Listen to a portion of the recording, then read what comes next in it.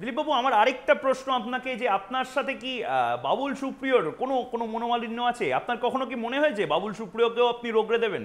দেখুন, বাবুল সুপ্রিয় একজন শিল্পী এবং খুবই স্বনামধন্য ব্যক্তি তিনি, তার গান ইত্যাদি আমাকে উনি কিছু সিডি দিয়েছেন, মায়ের মধ্যে গাড়িতে যেতে যেতে শুনি।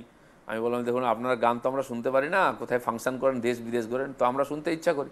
তো তিনি কিছু সিডি দিলেন। আমি যখন গাড়িতে থাকি, শুনি ওনার গান। নিঃসন্দেহে শিল্পী হিসাবে তার কোনো জুড়ি নাই। তিনি রাজনীতিতে এসেছেন। তো একজন শিল্পী মানুষ রাজনীতি এসে রাজনীতির যে পঙ্কিলতা, জটিলতা, সেটা বোঝা হয়তো সবসময় তার পক্ষে সম্ভব হয়নি। সেখানে উনি খোলা মনে আমাদের মুখ্যমন্ত্রীর সঙ্গে ঝালমুড়ি খেয়েছেন, অনেকের সঙ্গে মিশেছেন, তার জন্য তাকে আক্রান্ত হয়েছে, রাস্তার মাঝখানে তাকে ইট খেতে হয়েছে, এসব দেখেছি। এগুলো দেখার পরে তিনি হয়তো রাজনীতি খানিটা শিখেছেন, কিন্তু তার মতো খোলা মনের শিল্পী মানুষ তো ওই রাজনীতিবিদই হবে না।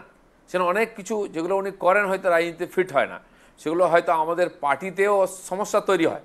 সেই নিয়ে আমি ওনার সঙ্গে কথা বলেছি খুব বন্ধুত্ব আছে আমার সঙ্গে।